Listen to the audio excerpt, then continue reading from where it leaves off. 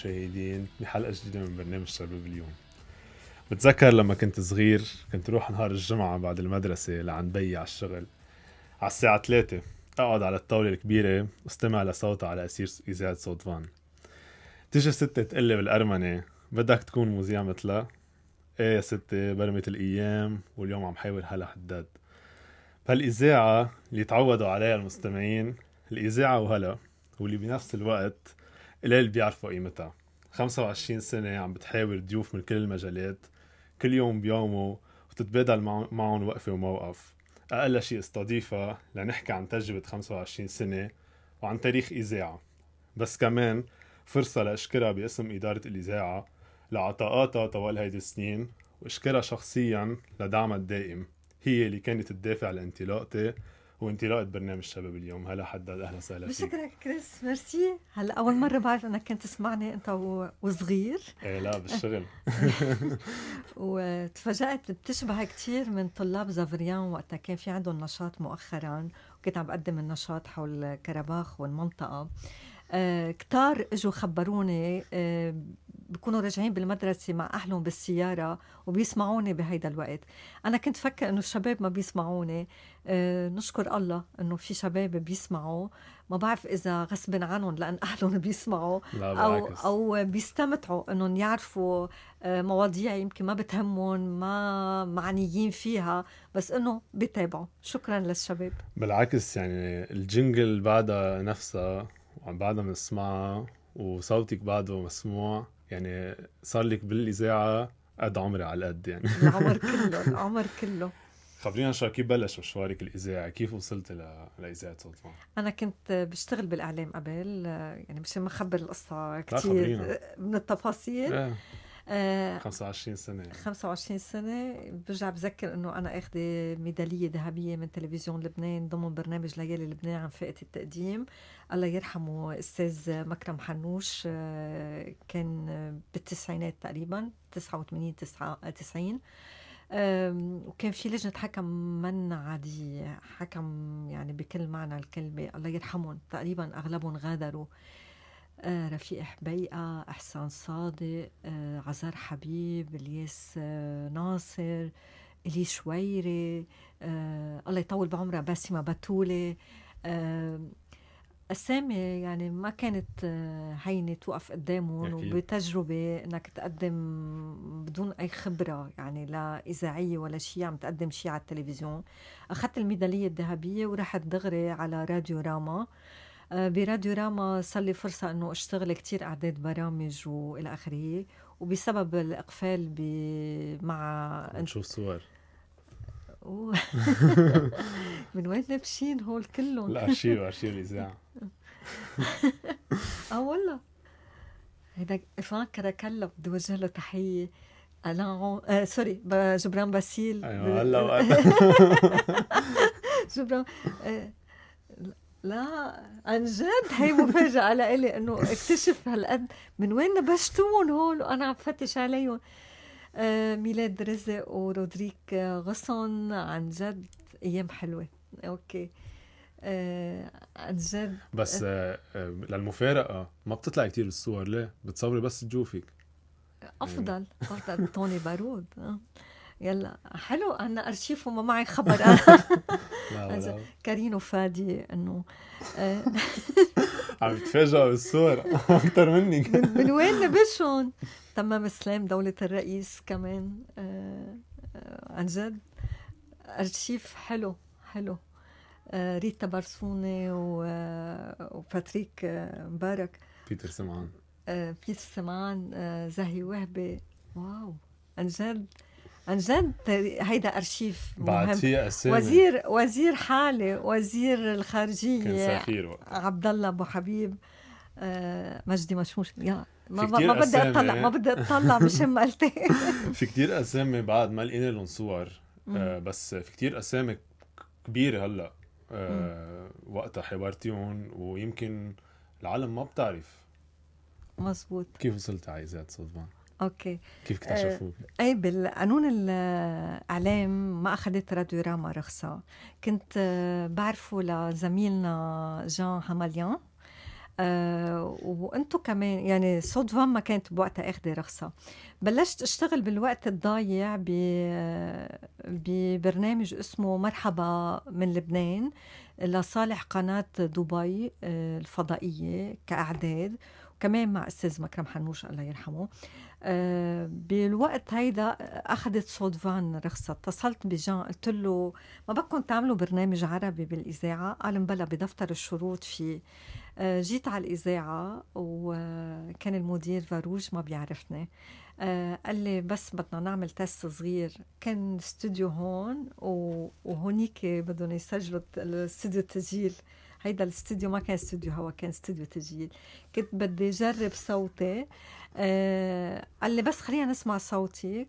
آه حكيت كلمتين ثلاثة. قال فيك تبلشي بكرة؟ قلت له سوري ما بدنا نتفق على اسم البرنامج هوية البرنامج توقيت البرنامج. ومن وقتها صار اسمه كل يوم بيومه. ومن وقتها الساعة 3 بعد الظهر.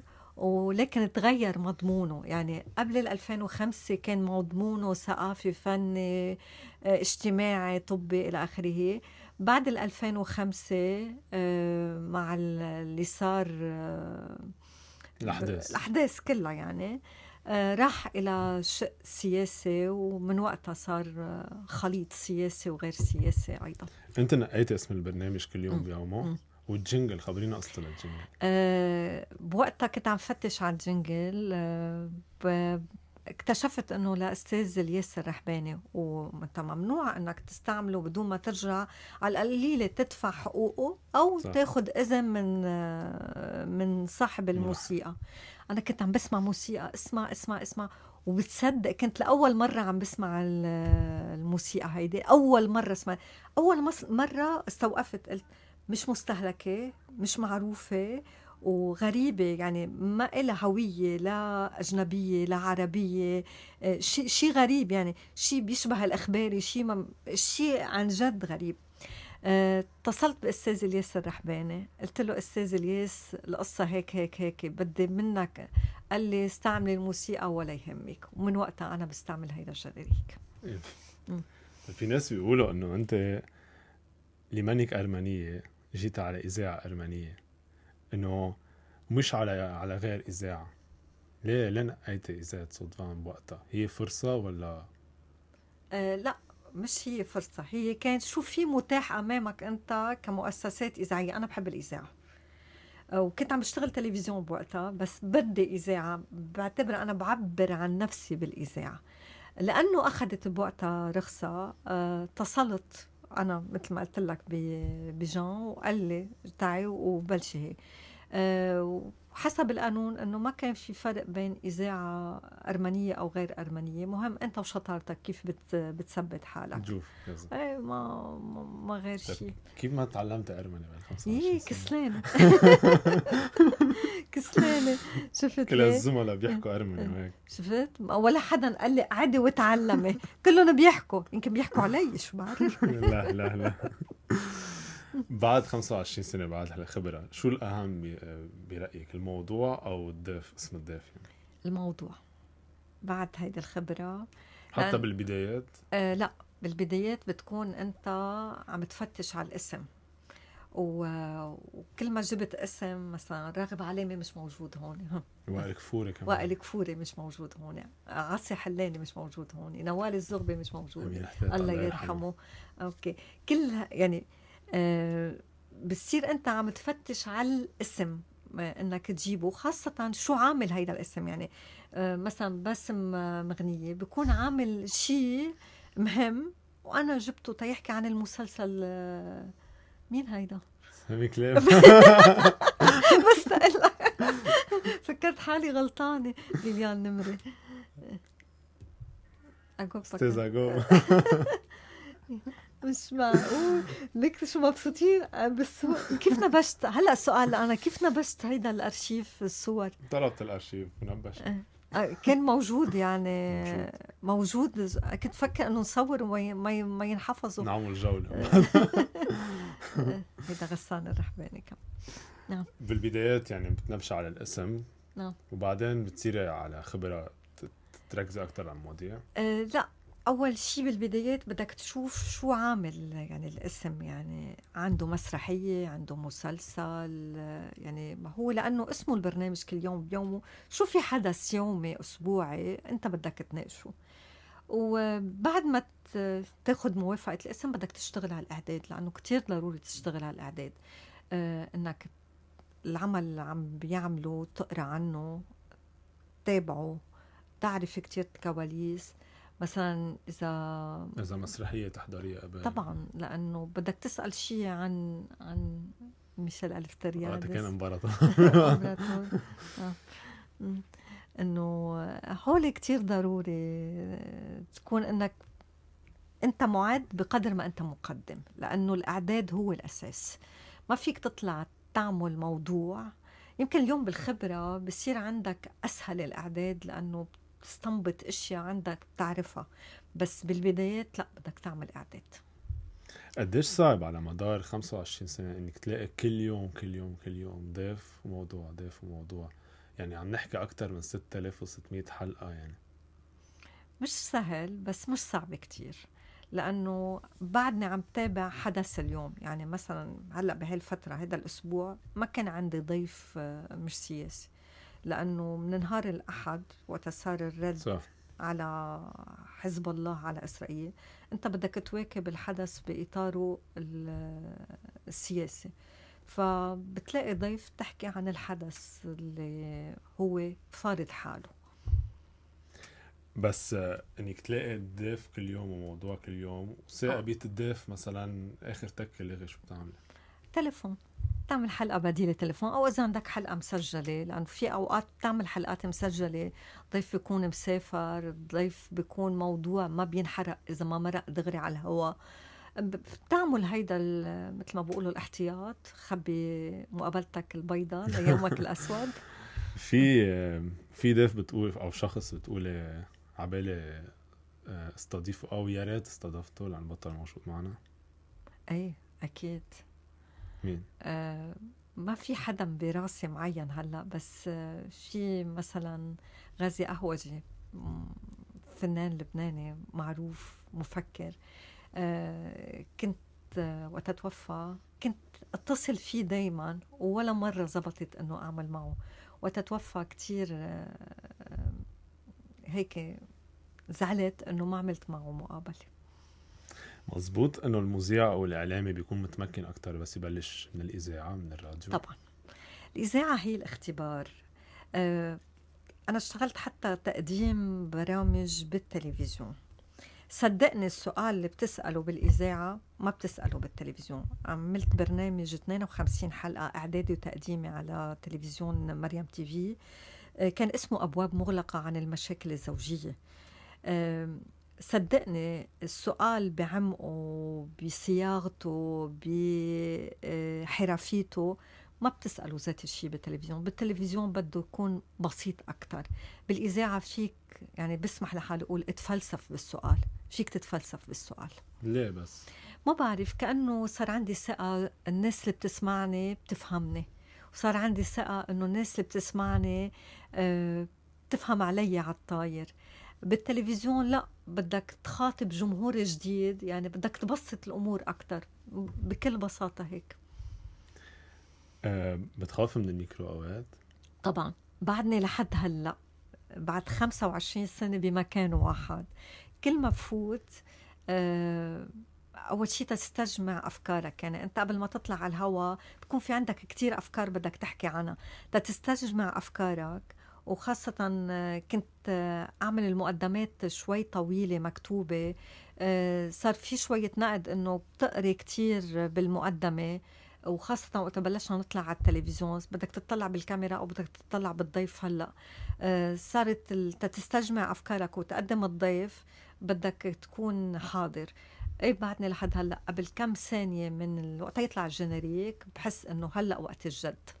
بس بخوفك الميكرو إنه يعني يطلع قصص عم تحكيهم وما ما تكونوا منتبه مثلا. ما بعرف بحس حالي إيه مرة صارت. ما ندمت إنه بقيتها بالإعلام المسموع مش بالعكس. ما انتقلت على الإعلام بالعكس بالعكس. آه شيء بيشبهني وشيء أنا دائما بقول هو علاج نفسي الإعلام. إذا أنت بتحب الإعلام هو علاج نفسي. عن جد فعلا. ولأنه آه كل يوم أنا بفرغ يعني بتعمل مخزون بتقرأ بتتابع كل شيء. أنت قبل 24 ساعة عم بتجمع صور وأفكار وأخبار. لأنك أنت عم بتجمعهم هولي وقتها تيجي هيدي الساعة أنت عم بتفرغهم. يعني أنت عملت علاج نفسي. فرغت كل المضمون اللي عندك وبدك ترجع تخزن مضمون جديد. بس ما ما حبيتي ولا مرة إنك تروحي على التي في؟ رحت رحت. إيه فترة صغيرة. آه، فترة صغيرة. ثاني شيء يمكن مواصفات المطلوبة بالتلفزيون مش موجودة فيه شكليا بالعكس.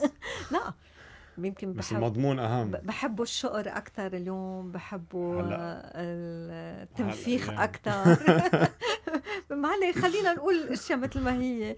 آه، أنا سمعتها من كتير إنه نوعية الأسئلة اللي بتسأليها ما بيحملوها بالتلفزيون. أنا سمعتها من أحد رواد صناعة التلفزيون. أنت السؤال اللي بتصيغيه هون ما بيحملوه. والله آه، يعني يعني بتذكرها المخرج ميلاد الهاشم. قال لي إياها مرة. قال لي آه، أنا مارق بمقابلات كتير بس نوعية الأسئلة اللي بتنسأل ما بتنسأل إلا عندك وما بتنسأل على التلفزيون. في ضيوف تفاجأت فيها سلبيا؟ من أي ناحية؟ يعني كنت اخذ صورة عنها إيه أكيد. إيجابية وبس يجوا أكيد. غير رايك كليا. في ضيوف بتفكرهم متواضعين أكثر بيطلعوا آه، آه، شوي الخسة كبرانة براسهم. في ضيوف بتكون متوهم كيف بدك تتعاطى معهم. بتلاقي بالعكس آه، كتير متواضعين وبيسهلوا لك الأمور. الضيف مثل كل إنسان كاركتيره. إذا هو شخصيته متواضعة بيعكس هيدا الشيء وإذا هو متعب عن جد متعب. في ضيوف بتعبوك تظبط موعد معهم. في ضيوف بتعبوك من الأسئلة. في ضيوف آه، تيوصلوا وتاخد هيك معهم شوية وجه حسب. على فكرة آه، بس تنقول للمستمعين إنه أنت معروفة إنه بتخلي الضيف يجي قبل بوقت كرمال. أنا بقول له الساعة 3 المقابلة و3 الا ربع بدنا نشرب قهوة سوا. هيك بحرجوا. تتعودوا على بعض أكثر قبل ما تفوتوا. لا حتى بحب فوت على الاستوديو. مرتاحين أكثر اي قبل يعني قبل بعشر دقائق لأنه الجو العام اللي بتاخده ال ambiance إلي وللضيف كثير مهم. أنت أنت موضوعية خلينا نقول بحواراتك. يعني بتذكر إنه ما فينا نعرف أي جهه بس مثل ما قلت بمقابله عندك مسلمات معينة. بالرغم من هذا كله في ناس بعد بيتهموك إنك مقربة يمكن من التيار الوطني الحر بمحل المحلات أو من حزب الله وكذا. إيه مرة قالوا عني بعثية ومرة قالوا عني قومية ومرة كل مرة وكله حسب حسب الضيف بيقولوا. آه، آه، أنا عم بقول مشتهمة إذا كنت مشتهمة لإلي أو لأي إنسان إن كان بأي حزب لأنه أي حزب بيملك أفكار وبيملك منطلقات. آه، مشتهمة إذا اتهموني إذا أنا هيدي مشتهمة أول شيء ما بعتبرها تهمة إنه إذا اتهموني تيار أو حزب. بس أنا بقول لأنه متهمة أكثر بالتيار رح رح جاوب على هيدي النقطة بالتحديد. أنا بعتبر التيار الوطني الحر هو بيشبه هلا حداد مش هلا حداد بتشبه التيار الوطني الحر.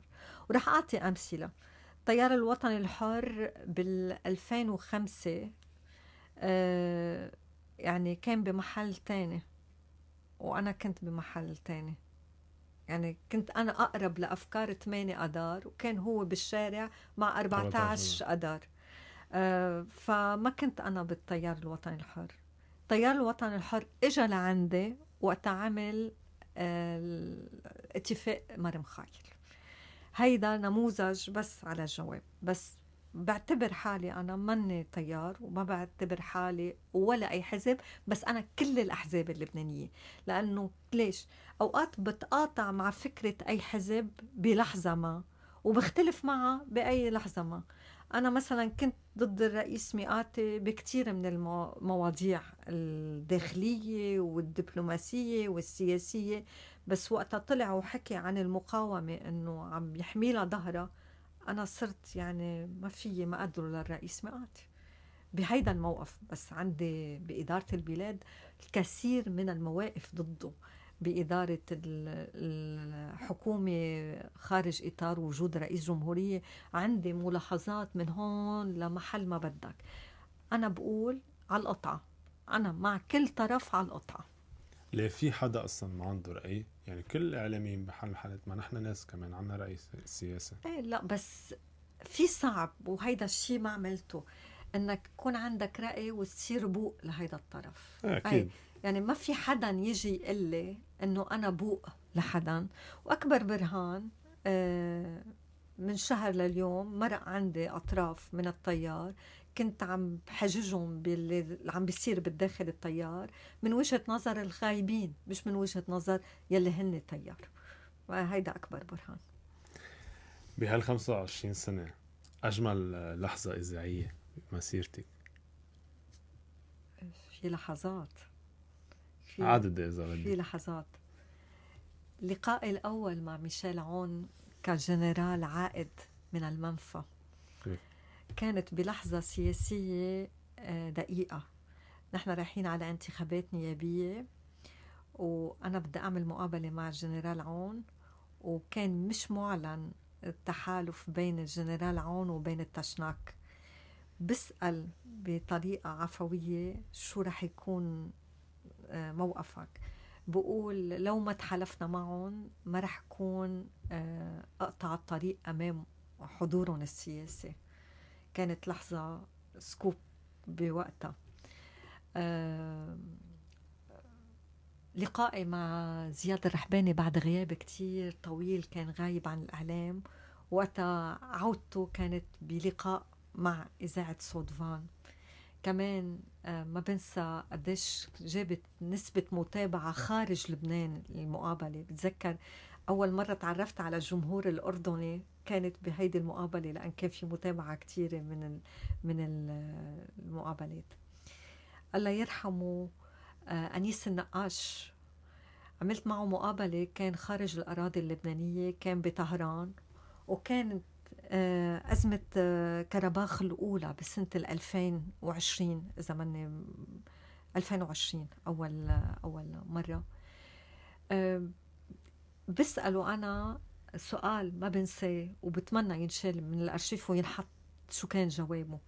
قلت له في شيء اسمه لعنة التاريخ وفي اسمه آه، القانون الدولي أو الحق القانوني. بيعمل مطالعة عن كرباخ ما بين الحق التاريخي وما بين الحق الدولي من أجمل المطالعات يلي سمعتها بحياتي. آه، في في كثير لحظات يعني ما هلا عم بستذكر يعني هول بعض اللحظات أجمل كلمة سمعتيها بمسيرتك؟ صادقة. فعلا. عن جد لأنه آه الناس ما فيك تكذب عليهم. يمكن فيك تكذب عليهم يوم يومين ثلاثة بس وقتها آه ناس بتابعوك يعني أنا دائما بقول رغم الثورة اللي صارت على على المنصات اليوم وحضورنا نحن على الفيسبوك وحضورنا على اليوتيوب وحضورنا على المنصات كلها بس ما بنسى إنه في مستمع بيسمعني اليوم وهول اجيالهم فوق الخمسين. وهول ما بيعرفوا يكذبوا. تتلاقى فيهم ويقولوا لك أنت صادقة وبعدك صادقة من من وقت اللي عرفناك لليوم. كثير بيعني لي هذا الشيء أصعب فترة غطيتيها بمسيرتك كمرحلة خلينا نقول سياسية؟ يمكن انتخابات ال 2009 ليه؟ 2008 2009 بفتكر هي 2009 آه ما كان عندي آه بدي أقول أشياء لأول مرة. لأول مرة. قصص. آه، أوقات بيكون حتى إدارة الإذاعة آه، ما كتير عندها وضوح سياسي. بوقتها ما كان عندي وضوح سياسي لأنه ما كان عندي رؤية بإدارة الإذاعة تقلي بهيدي المرحلة شو بدي أعمل. كنت بحالة ضياع. أي بقولها. لو بتقدر تغيري شغلة واحدة بمسيرتك شو بتكون؟ ماشي. ما ما في شيء خطر على بالي إنه غير يعني.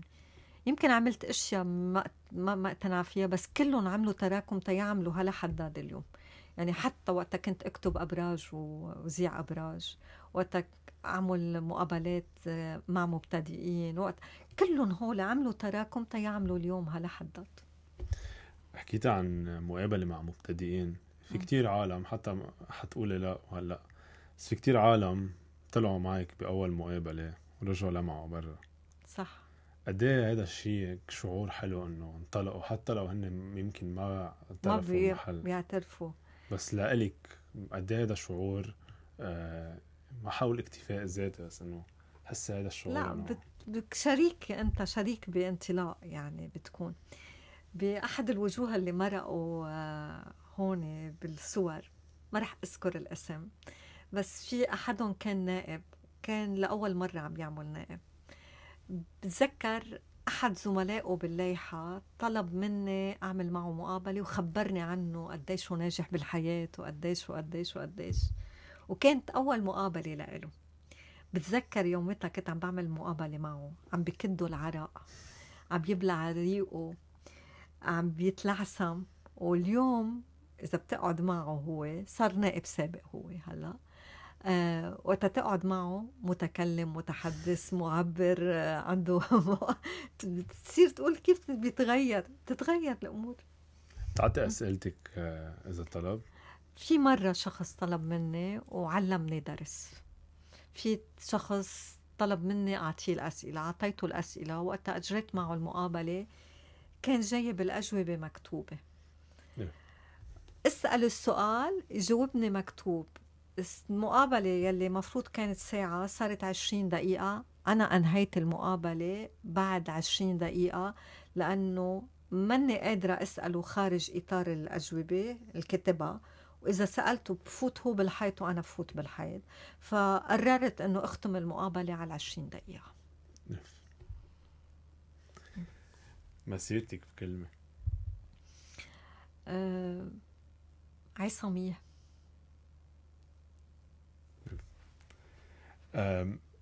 أنا حأحكي عن تجربتي الخاصة معك. مش أنت شخص كتير تدعمي الناس اللي حابين يبلشوا المسيرة؟ قد إيه قد إيه بتشوفي إنه هذا الدعم هو جزء من مسيرتك كمان؟ هلا حسيت إنه أنت تخبر تخبر القصة مشان ما تكون هيك مبهمة. آه، بانتخابات النيابية بال 2022 كان عم يشتغل كريس بالمكتب الإعلامي بحزب التشناك وكان في تعاون بيني وبينه آه، بهيدا الموضوع. آه، قلت أنا لازم نعمل فكرة جديدة بس شو في غير صوتي بهالاذاعه قلت له جرب صوتك بتذكر؟ قلت لك جرب صوتك. واخترعنا شيء اسمه المشهد الانتخابي. نشرة يومية بيحكي عن المشهد الانتخابي بكل تفاصيله شو صار وإلى آخره. بعدين كريس بده يسافر ويتخصص ووقتها اجى بصيفية الماضي مش هاي الصيفية. ليش ما بتعمل شيء بالإذاعة؟ أنا اللي صح. قلت لك. وقلت لك الفكرة جاهزة. شباب اليوم. ولدت الفكرة والاسم ولد. آه، خبر عن تجربتك إنه وقت حدا يعطيك فرصة هيك أنت شو شو بتشعر آه، كريس عن جد إنه و...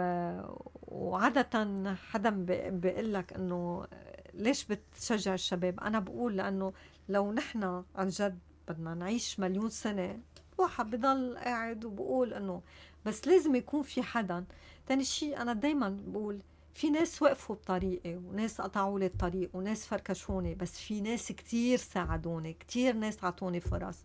مشان هيك أنا بكون العس مش العسرة بحياة الأشخاص اللي بتلاقى فيهم لازم أكون أنا الفرصة يلي بساعدهم فيها. إذا بدي أحكي عن تجربتي الخاصة هي أنا بشوف الإعلام فرصة. يعني إذا إذا أجتك الفرصة خلص بتبلش المسيرة. وأنا بشوف إنه أنت اعطيتينا الفرصة بمحل محلات لا أنا والاذاعه أكيد أكيد الاذاعه أكيد. لا لا لا لأنه كان في أقول لك تعا يا كريس وهن ما يقبلوا. أكيد لا لا أكيد. أكيد الاذاعه كمان ما ما بننسى دورها بهالموضوع بس لأنه هلأ عم نحكي عنك. آه والدعم هذا اللي أعطيتيه و آه أنا أول أول مرة طلعت فيها مش مني نفس الشخص اللي هلأ عم يطلع آه، ثقة بالنفس إضافية. حنكة إعداد الحلقة بتصير مختلفة تحضير الأسئلة قبل كانوا الأسئلة بس المكتوبة بطرحهم و وبتخلص الحلقة. هلأ صرت أنا الله يرحمه مسعود المشهور ف بس هيدا اللي كنت عم بقوله إنه بحس أوقات إنه دعمك للشباب بمسيرتهم. هو بتعملون قد ما بتساعديهم بتعملون جزء من مسيرتك يعني. يعني قد ما بتساعديهم بتحسينا إنه هول لا جزء من من مشروعك كمان يعني. إيه مش تشتغليهم كأنه هول برامجك يعني مش تعطي مش غلط مش غلط لأنه آه وقت أنا اتبنى الشغلة لازم اتبناها على الآخر. ما بتبناها جزء إيه وجزء لا أو ومترددة إيه أو لا. لازم أتبنى الفكرة على الآخر. و... وأنا قلت لك جملة وبرجع بقول لك إياها قلت لك إياها تحت الهواء اليوم أنت عم تتخصص محاماة بس إذا عقلك وقلبك عند الإعلام ما تضيع فرصة لأنه رح رح خبر شغلة. إذا ما بتشتغل الشغلة بشغف وبحب ما بتنجح ما بتكون مبسوط. مشان تشتغل وللشباب كلهم بقول لهم ذات الشيء أكيد بتفكروا شو بيطلع مصاري اليوم أكيد بتفكروا بفرص العمل. اعملوا اختصاصات بس اعملوا شيء بيشبهكم بالاختصاص اللي عم تعملوه تتكونوا مبسوطين. إلا هيك ما رح تنبسطوا ما رح تنبسطوا. في ينجح الواحد بكثير من الاختصاص وبتشوف في ناس بعد 30 سنة 40 سنة بيرجعوا يعملوا الشيء اللي بحبوه. مزبوط. بعد 25 سنة إزياد صدفان بكلمة. بيتي بيتي الثاني هالقد مرق معك مدراء و... طبعا على القليل شي ستة أو سبعة وزملاء إيه. وزملاء إجوا وراحوا. سبعة ب 25 سنة. اي بفتكر سبعة مدراء. وزملاء ومش كلهم تتفقي معهم. ليش؟ حتى ما بتفق معه بتفق بس منا هينة يعني. إنك تخسريها ببيت. بيتي مثل بيتي ليش أخوتي كلنا دايما دايما آه، أوقات بنتشارع الأخوة نحن؟ مين قال ما بنتشارع بكل بيت فينا بنتشارع ولو كلنا بنشبه بعضنا وبنفكر بذات الطريقة كان العالم مختلف عن ما عن ما هو عليه اليوم. لازم يكون في اختلاف بالشغل ويكون اختلاف بال... بالآراء وبالذوق ويكون اختلاف بكل شيء لأنه الاختلاف غنى. بس الخلاف مشكله بعد 25 سنة رح تكفي بنفس الشيء أو بتفتكر إنه وصل. وصلت لمحل بدك شيء جديد ما بعرف أنا دائما عندي فرص يعني اليوم آه، مثلا هالفترة الأخيرة آه، كان عندي فرصة بمجلة تحولات آه، مجلة متخصصة بتعمل ملفات كبيرة آه، عبر ملتقى المشرق لأنه أنا ناشطة بملتقى المشرق آه، والله يرحمه كان من المؤسسين آه، جورج القرم خسرناه مؤخرا. قرروا يعملوا عدد مشترك بين تحولات وبين ملتقى المشرق. كان عندي فرصة إنه أكون عم بشرف على عدد بالإعلام المكتوب. كان لي صار لي زمان زمان زمان كتير ما اشتغلت بالإعلام المكتوب. آه، صدر مؤخرا وموجود بكل مكتبات أنطوان بتمنى آه، يقروه آه، ويعطوني رأيهم. يعني تعاونت مع كتاب محترفين اختصاصيين باحثين. تعاوننا تيكون عدد مشوق كتيب بكل معنى الكلمة يعني بمعنى أو آخر. وفي فرصة جديدة كمان البعد الخامس مجلة ثقافية صدرت الكترونيا ورح تصدر ورقيا بأول الشهر والإطلاقة رح تكون نهار الجمعة المقبل نهار الجمعة آه، مع عبد الحليم حمود وأيضا آه، شادي منصور. آه، أنا من هيئة التحرير تبع يعني دائما عندي يعني ولا مرة كانت تجربتي السنة الماضية مع بوست لبنان إعلام إلكتروني. ولا مرة إلا كان عندي شيء تجدد ولا مرة حسيت إنه واقف الزمن عندي. الإذاعة هو آه، شق منه تعبيري نفسي لكن الفرص بالمحلات التانية عم تجيني. وعندي كمان بدي أقول أنه الفرصة الأكبر يلي عم عم فرغ فيها الأفكار اللي عندي هي موقع آه، أو منصات حرف عربي بلس بدي وجه تحية لحنان فضل الله ولجارو يلي من لا شيء عملنا شيء وكل شيء بيخطر على بالي يمكن أقوله ويمكن ضوابط الإذاعة ما بتسمح لي أقوله عم بقوله بغير محل. ولا مرة حسيت حالي أنه ما عندي فرصة جديدة ما عم جدد بالإعلام. وربما أجمل شيء بالإعلام أنه أنك ما بتعيش روتين. ما بتعيش شيء آه، يومي ممل أو شيء يعني كل يوم عندك شيء جديد. في ضوابط آه، بالإذاعة؟ طبعا. نحن تحت قانون الإعلام. سقف قانون الإعلام تحت دفتر الشروط آه، سقف دفتر الشروط. في أشياء كمان خاصة بالإذاعة بهوية الإذاعة الأرمنية اللبنانية أكيد هيدي الضوابط بحترمها وأنا تحت سقفها لكن بمسافة من الحريات الكبيرة الكبيرة كتير. يعني بأكد إنه الحرية الموجودة بصوت فان مش موجودة بغير محل. فعلا. بهال 25 سنة انت بتتنفس من الميكرو. في فترة قطعت صار معك شيء بأربع ما بدنا نتذكر تفاصيله. وقفتي عن عن الهواء لفترة معينة. مش كتير كانت. مش كتير. لأنه قد إيه كانت صعبة لإلك؟ أه بوقتها لأنه الصدمة والوجع والحادث والإصابة ما بخلوك تفكر كتير. صح. بس بتذكر أنا بعد أسبوع ما طلعت من المستشفى أه انعمل معي كتير مقابلات. يعني إذاعيا انعمل معي قد ما بدك مقابلات. أه ووقتها شفت إنه عودتي على الإذاعة رح تكون صعبة أه بشكل أو بآخر قريبة. اتفقت مع مسيو فيكان وكنت عم سجل أنا وبالجبل. وبطريقة تقنية بدائية. شو بدي أقول لك شيء مضحك. كنت عم سجل مقابلات مع كتار كتار. يعني أنا بوجه تحية لريكاردو كرم مثلا. قبل يعمل معي مقابلة على التليفون أنا أتصل فيه. وكتار كتار آه، ليلى نقولة آه، دكتور محمد آه، محمد نور الدين.